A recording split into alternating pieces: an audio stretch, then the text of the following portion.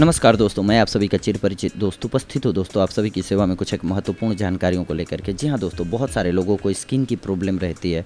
तो हम कैसे स्किन की प्रॉब्लम से छुटकारा पा सकते हैं, वो भी खान पान के द्वारा दोस्तों। घरेलू उपायों से त्वचा की कैसे देखभाल करें और खान पान हमारा क्या होना चाहिए, जिसकी वजह से हमारी स्किन जो है ग्लोइंग और हेल्दी रहे दोस्तों। गर्मियों के मौसम में महिलाओं और युवतियों को त्वचा से जुड़ी हुई कई प्रकार की समस्याएँ होने लगती हैं। उन समस्याओं से बचने के लिए कुछ घरेलू नुस्खों को जान लेना अत्यंत ज़रूरी होता है दोस्तों। इसी से रिलेटेड आज का हमारा ये व्यू है दोस्तों। त्वचा की सही देखभाल कैसे करें? गर्मियों में अपनी त्वचा को चमकदार और स्वस्थ बनाए रखने के लिए घर में ही फेस पैक बनाया जा सकता है। फेस पैक बनाने के लिए आप एक केला लें और उसे अच्छे से मसल लें। फिर इसमें एक छोटा चम्मच मिल्क पाउडर लें और एक बड़ा चम्मच शहद लें। इन तीनों सामग्रियों को अच्छी तरह से मिला लें और इसके पश्चात चेहरे को धोकर फेस पैक को चेहरे में अच्छी तरह से लगाकर 20 मिनट के लिए छोड़ दें।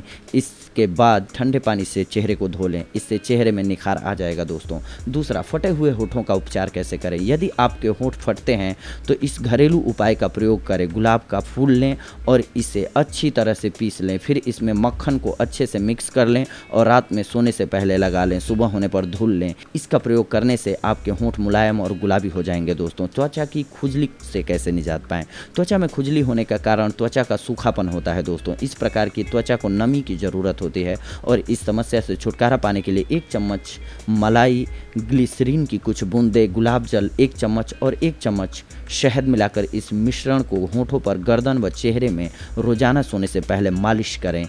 इसके प्रयोग से त्वचा चमकदार बनेगी और खुजली की समस्या खत्म हो जाएगी दोस्तों। मुरझाए हुए चेहरे का उपचार कैसे करें? अगर आपकी स्किन ड्राई है तो आधा कप कोक लीजिए। तीन बड़े चम्मच हैवी क्रीम लीजिए, एक बटा तीन कप पका हुआ पपीता लीजिए, एक बटा दो कप यानी कि हाफ़ कप शहद और जौ का पाउडर मिलाइए।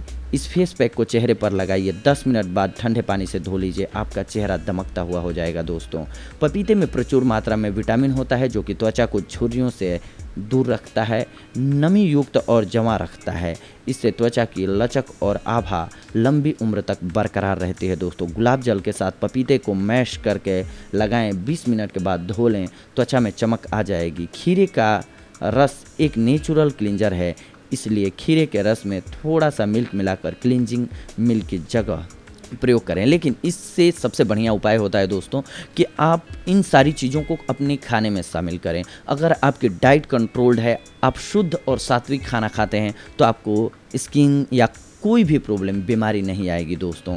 आप अपने खान पान का अगर दैनिक दिनचर्या को ठीक कर लेते हैं, आप अपने खान पान के हैबिट्स को ठीक कर लेते हैं, आप सही चीज़ों का सिलेक्शन करते हैं, यानी कि आप बहुत मसालेदार खाना नहीं खाते हैं, बहुत ज़्यादा तीखा नहीं खाते हैं, बहुत ज़्यादा मीठा नहीं खाते हैं, आप सामान्य खाते हैं, क्योंकि आप जानते हैं दोस्तों कि बहुत ज़्यादा अति हो जाए किसी भी चीज़ की तो वो अच्छी नहीं होती है। इसीलिए आप अगर उचित मात्रा में डाइट लेते हैं और कोई इस मामले में नहीं समझ में आता है तो एक बार डॉक्टर की सलाह ले लेनी चाहिए कि हमारे लिए परफेक्ट डाइट क्या है। आपकी बॉडी, वज़न और आपके उम्र के अकॉर्डिंग आपकी डाइट होनी चाहिए और इसके लिए आपको किसी भी डाइटिशियन से आप संपर्क कीजिए और अपनी डाइट चार्ट बनवा लीजिए। उसके अकॉर्डिंग अगर आप डाइट लेते हैं तो आपकी स्किन भी हेल्दी रहेगी, आपका शरीर भी हेल्दी रहेगा, आप को कई सारी बीमारियों से छुटकारा मिलेगा। बीमारियाँ नहीं होंगी, आप स्वस्थ फील करेंगे दोस्तों। तो ये था आज का हमारा व्यू, आप सभी के लिए दोस्तों। अगली बार हम आप सभी से जुड़ेंगे कुछ एक और महत्वपूर्ण जानकारियों को लेकर के।